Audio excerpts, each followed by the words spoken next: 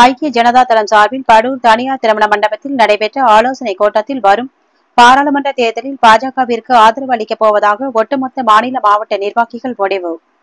செங்கல்பட்டு மாவட்டம் கேளம்பாக்கம் அடுத்த பர்டூர் சமுதாய நலக்கூடத்தில் ஐக்கிய ஜனதா தளம் தமிழ்நாடு சார்பில் முன்னதாக முன்னாள் பாரத பிரதமர் மொராஜி தேசாய் பீகார் முதல்வர் நிதிஷ்குமார் ஆகியோரின் பிறந்தநாள் விழா மற்றும் வடக்கு மண்டல இரண்டாயிரத்தி இருபத்தி நான்காம் கான நாடாளுமன்ற தேர்தல் ஆலோசனை கூட்டம் மாநில துணைத் தலைவர் ராமமூர்த்தி தலைமையில் நடைபெற்றது.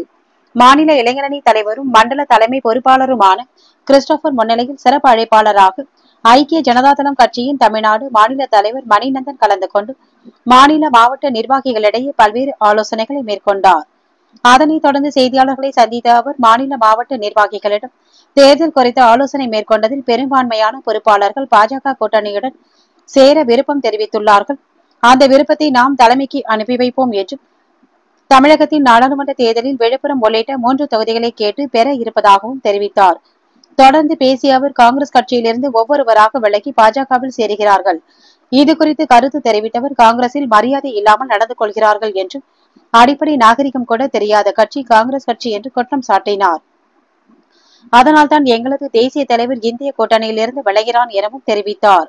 அதனைத் தொடர்ந்து திமுக உள்ளிட்ட கட்சிகளில் இருந்து விலகி ஐம்பதிற்கும் மேற்பட்டோர் ஐக்கிய ஜனதாதளம் கட்சியில் இணைந்தனர். கட்சியில் இணைந்து அனைவருக்கும் மாநில தலைவர் மணி நந்தன் சால்வை அணிவித்து வாழ்த்துக்களை தெரிவித்தார். தொடர்ந்து முதியோர் மற்றும் ஏழைகளுக்கு புடவை உள்ளிட்ட நலத்திட்ட உதவிகளை வழங்கினார். இந்நிகழ்ச்சியில் ஒருங்கிணைப்பாளர்கள் லட்சுமணன் பாராளுமன்ற குழு தலைவர் செங்கை ஆனந்தன் மாநில தலைமை பொறுப்பாளர்கள் மாவட்ட தலைவர் விஜயதேவி உள்ளிட்ட மாநில மாவட்ட நிர்வாகிகள் பலர் கலந்து கொண்டனர். தேசிய தலைவர்களின் பிறந்தநாளை ஒட்டி ஏழை எளிய மக்களுக்கு ஒரு ரூபாய்க்கு அறுசுவை உணவான பிரியாணி வழங்கியது குறிப்பிடத்தக்கது. உடனே விட்டவுடன் உணவு மண்டலத்தை இந்தியா முழுக்க ஒரே உணவு மண்டலமாக ஆக்கியதின் காரணமாக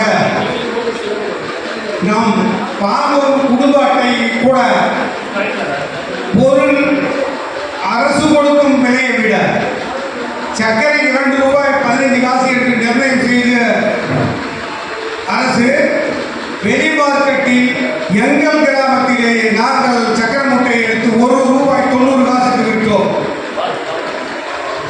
இவர் பிரதமர் ஆகிடக்கூடாது என்ற ஒரே ஒரு காரணத்தால இவரை விண்டிங்கில் வச்சாங்க. எல்லாரும் சேர்ந்து காங்கிரஸ்காரங்க இவர் எங்க ஒருங்கிணைப்பாளராகி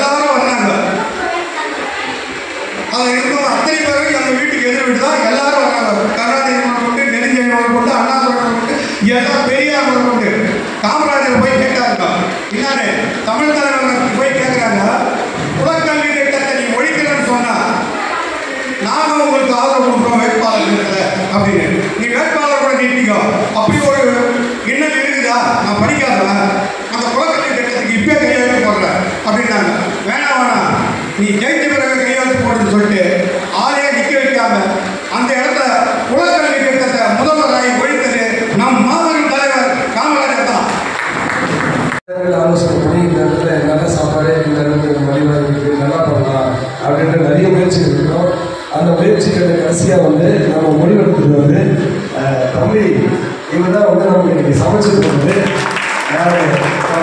சொன்னது ஆயிரம். இன்னைக்கு ஒரு இரநூறு பேருக்கு எக்ஸ்ட்ரா செய்யணும்ப்பா. மெட்டீரியல் போடுறேன்னு சொன்னோடனே இரநூறு பேர் இல்லை இன்னும் ஐநூறு பேர் வேணாலும் செஞ்சு தரேன்னு சொல்லிட்டு உங்களுக்கு நிறைய உங்களுடைய நன்றியும் எங்களுடைய இதுவும் எல்லாரும் தெரிவிச்சுக்கிறோம். ரொம்ப நன்றி வணக்கம் நம்ம அதை ஏற்றுக்கலாம் தப்பு கிடையாது. எதுவுமே அப்படின்னு சொன்னால் நம்ம முப்பத்தெட்டு தொகுதி நம்ம கேண்டிடேட் நம்ம நெருங்கிறதுக்கு தகுதியாக நம்ம ஆளுங்களை செலக்ட் பண்ணி வச்சுக்கிறோம். காரணம் வந்து எதுவுமே இல்லை போகணும்னு சொன்னால் அடுத்த எம்எல்ஏ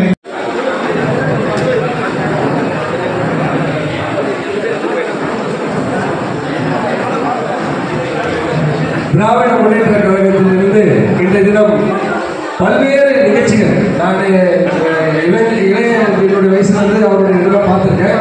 சிங்காரவேலன். அண்ணனுடைய பேர் அவர் நினைச்சுக்கிறாரு அவரோட வருகை தந்திருக்கக்கூடிய நண்பர்கள் அனைவருக்கும் எங்களுடைய மனமார்ந்த நன்றியை வாழ்த்துக்களை தெரிவிச்சுக்கிறோம். அவருக்கு சரியான ஒரு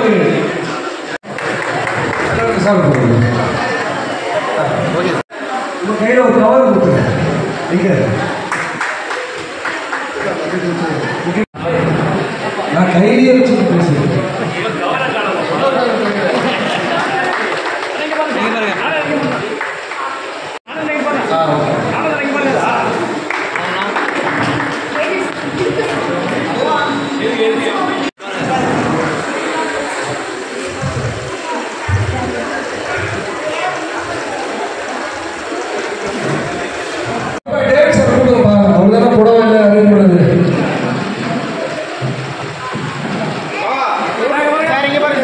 டேவிட்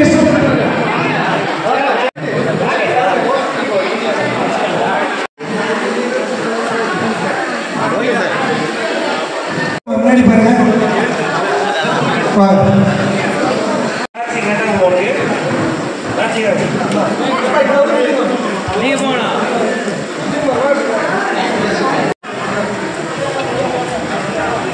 சரிங்க பாருங்க. தலைவர்.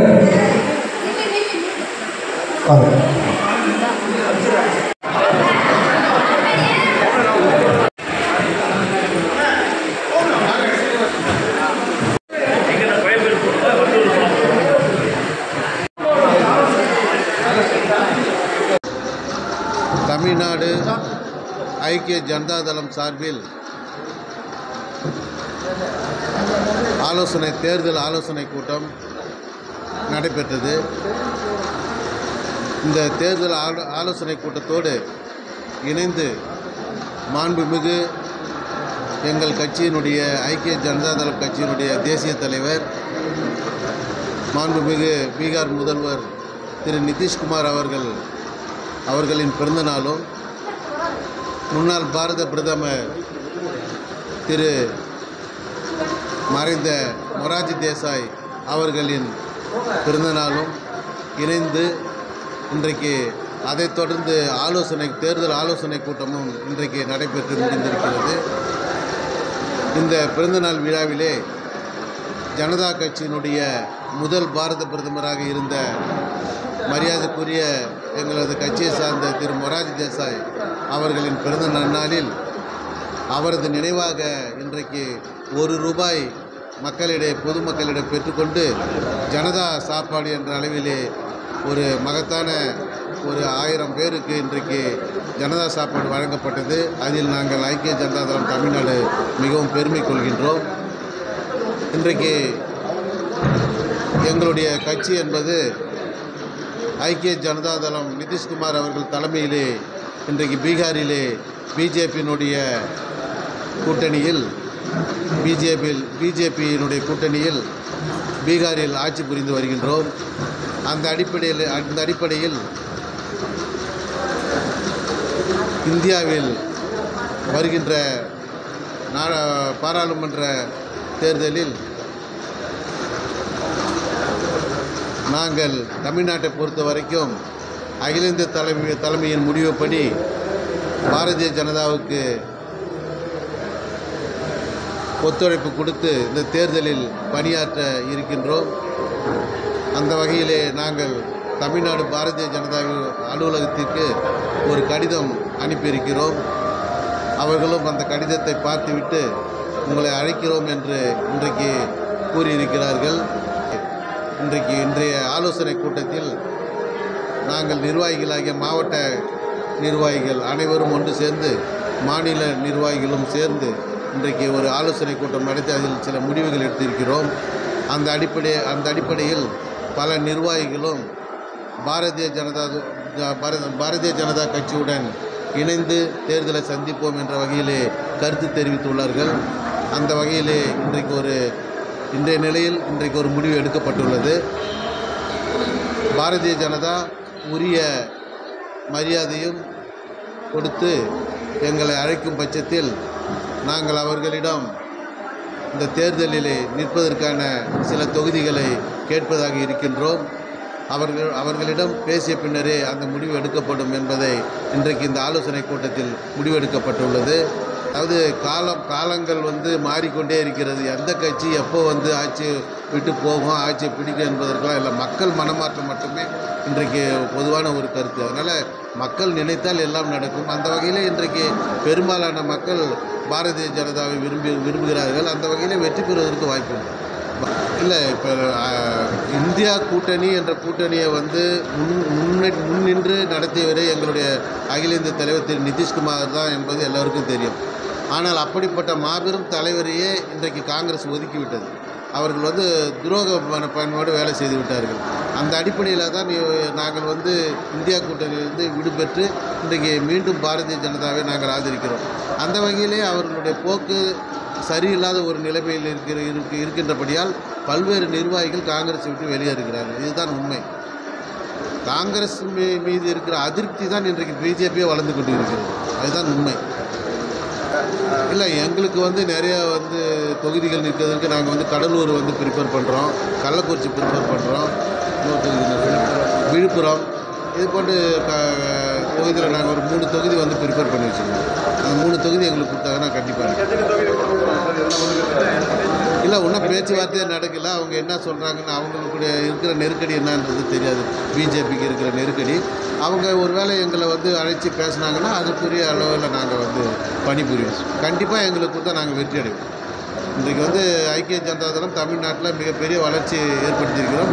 கிட்டத்தட்ட முப்பது மாவட்டங்களிலே நாங்கள் வந்து நிர்வாகிகள் எங்களுடைய மாவட்ட நிர்வாகிகள் இருக்கிறார்கள். அனைவரும் இன்றைக்கு வந்து ஆங்காங்கே கூட்டங்கள் நடத்தி கொண்டு ஐக்கிய ஜனதா தளத்தின் கொள்கையையும் நம்முடைய தேசிய தலைவராக இருந்த மொராய் தேசார் அவர்களின் கொள்கைப்படியும் நாங்கள் தொடர்ந்து பயணித்து வருகிறோம். அந்த அடிப்படையில் அந்த அடிப்படையில் நாங்கள் கண்டிப்பாக வெற்றி அடைவோம் என்பதை தெரிவித்துள்ளோம்